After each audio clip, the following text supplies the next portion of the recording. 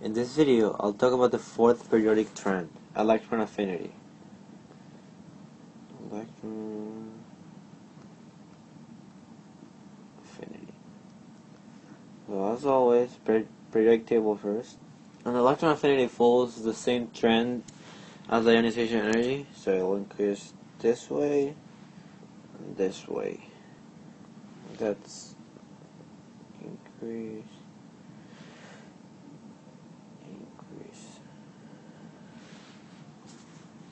So let's define electron affinity. We'll just call it E dot A. Electron affinity is the enthalpy change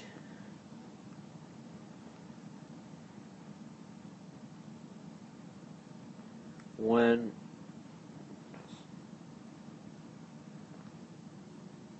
one mole of gaseous atom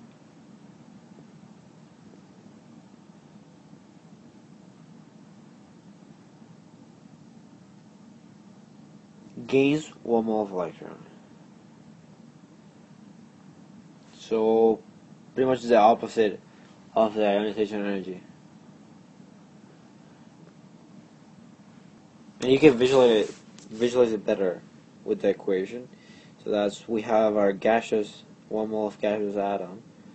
That's any element, and it will gain one electron. So we have one mole of electron here, and that will then form X minus G. And one more thing, electron affinity, like literally, it means love of electrons. So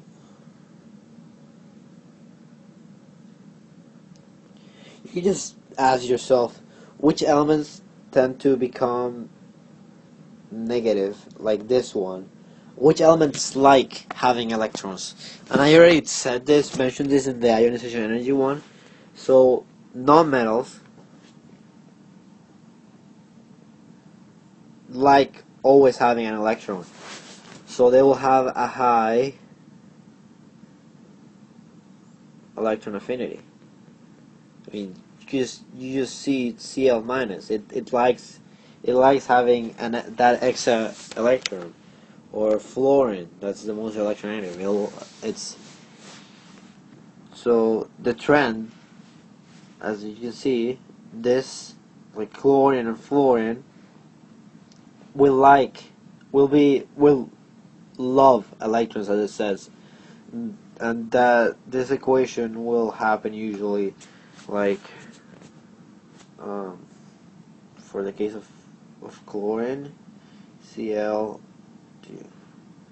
plus the electron just forms Cl minus Cl minus so yeah the it's a it's a pretty easy concept. It's pretty much the opposite of the ionization energy, but the trend is the same. Be although they mean opposite things, like at the same time, it's kind of the same. Something that has a, high ionization energy will be very electron affine. It'll have a very high electron affinity. So as you can imagine, something like let's go with potassium you used to see potassium like this. It's a it's a plus. So when you look at this equation, you will never see this thing. So that means that this this element, potassium, is not doesn't have a very high electron affinity. So that means this doesn't happen. So low electron affinity and well, let's see. Potassium is here, so it really makes sense. It's gonna have a higher electron affinity than than something that's below it, but overall it's very low compared to to the to the big ones like fluorine, chlorine, bromine, oxygen.